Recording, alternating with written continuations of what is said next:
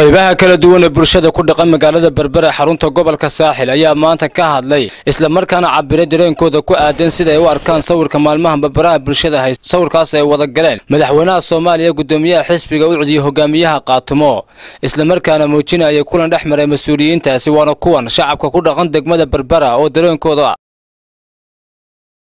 asalaamu calaykum waraxmatullahi wabarakaatu wala magacaygu cabdiwahaa farxaan cabdilaahi waxaan u arkaa shakhsi ahaantayda la kulanka faysal oo la kulmay madaxweynaha soomaaliya wax runtii dowladnimadeena iyo qarannimada somalilan ahaan aan qurux ku ahayn maadaama aan sheeganayno inaan nahay dal ka madax bannaan soomaaliya la kulanka shakhsiyaadka madaxda kaa waddankeena ama xisbiyada mucaaradka haystaan ama kuwa muxaafidka haystaan la kulankooda inay madaxa soomaaliya la kulmaan oo kale oo ay kala kulmaan sifahan sharcigan waafaqsanayn waxay tilmaamaysaa inay tahay wax qarannimadeena aada liduuga runtii anigu mana soo dhaweynay fikir ahaan aadna waan uga soo horjeedaa maadaama ahaa ninkan maanta la kulmay faysal calwaraabe.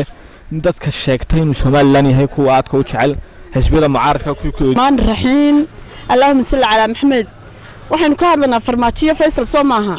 Faysal hadduu farmaajo la kulmay dee diinta kamuu bixin? Waa shaksi bilaadan hadduu la kulmayn? Farmaajo ma fahanti? Wax weyna yaan laga dhiginoo la buunbuunin faysal cali waraab waa nin siyaasiya somalilandara maalintii hore wuxuu ku khudbadaynayey inanta farmaajo la kulantay. Waa inin dembiilaa maantana isagii baaba salaamay dee mar haddii salaanta farmaajo ay dembi waxaan halkan maanta aragtida ka dhiibto fikirkayga. Waxaan u arkaa sawirkaa ay wada galeen faysal cali waraabe iyo madaxweynaha soomaaliya iyo khaatume state horta faysal wuxuu ahaa nin qarankan aada u weyn oo ragga lagu tiriyey ka mid ah waxaan leeyahay horta odayda faysal uu fashilmay dib ha isku soo celiyo oo dee qodobkii waddanka u yaalay dastuurka ha lagu qaado taas horta waa mid waxaan halkan fariin ku dirayaa baarlamaanka somalilan oo maanta qodobkan hor yaalo ajendaha la hordhigay oo aan leeyahay idinka ayaa maanta muushinkaas idin hor yaallaa. Idinka raxmaan raxiim magacaygu waa ismaaciil cabdi xirsi. Aad iyo aad bay u mahadsan yihiin tv-ga eryal iyo maslax saleebaan oo maanta halkan nagu soo booqday ama ururinta rayga dadweynaha haddii aan fakrigay ka dhiibto arrinta shirkii bruxel iyo faysal cali waraabe anigu waxay la tahay faysal cali waraabe dee nin maaha laanta fulinta ku jira waa nin xusi madax bannaan guddoomiye ka ah waxaan kalaan taageersanaha waxaan leeyahay wax saameyna kuma yeelanayso kulankiisu qadiyadda somalilan haddii taa laga tegi waayana anigu waxaan aaminsanahay dee wixii sharcigu ka qabon in la eego oo aan dee wax kale oo deelqaaf kale aan meesha ka dhicin. Ma oga anigu sharci diidaya dee qofka hadduu madax bannaan yahay inuu la kulmo cidduu doono? Waa arrin siyaasiyana aanu dee siyaasadduna. Waxaan u aragnaa anigu xisbiga ucid guuldarradiisii ugu weyneyd ee lagu eedan jiray faysal cali waraabe inay caddaatay. Waayo faysal cali waraabe wuxuu arkaa ninaan wuxuu u muuqdaa oo markhaati madoon ah inuu yahay nin bilaaxana inuu yahay nin kolba sidii qareenka ciddii isfahmaanun u hadla waxaan siyaasi iyo aragti siyaasadeed midnaba aan ku baysgaraysnayn aad iyo aad baan uga xunahay run ahaantii sawirkaa ula galay madaxweynaha soomaaliya soomaaliya shirkii laga bismillahi raxmaan raxiim magacaygu waa abdiraxmaan maxamed yuusuf. Waxaan ka mid ahay dhalinyarada gobolka saaxil horta cabdiraxmaanfikeyga cabdiraxmaan ahaan faysal cabdiwaraab horta markii ugu horeysay ee sawira caynkaas horta madaxda soomaaliya soo galo dowladda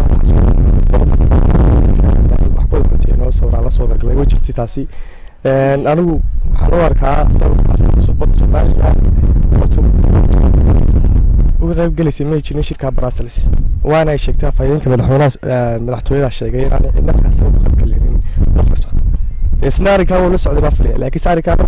anagu waxaan u aqaanaa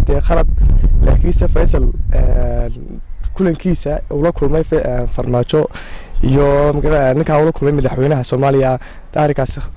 weeye. Maadaama ay somalilan ay iska joojisay ama ay diiday inay halkaa cidii u ku uu lahaa waxa u dhammaynaynaa deeqihii ay shirkii labadii kun iyo ka dhacay turkiga ee dhaqaalaha qodobka ahaa dhaqaalaha inaan la siyaasaday. Jire maxamed ku dhaqan degmada berbera waa mahadsantiin t v warka fisad fiican u haddaan sawirkaa ka warbixiyo sawirkaasi runtii maahan sawir qurux badan.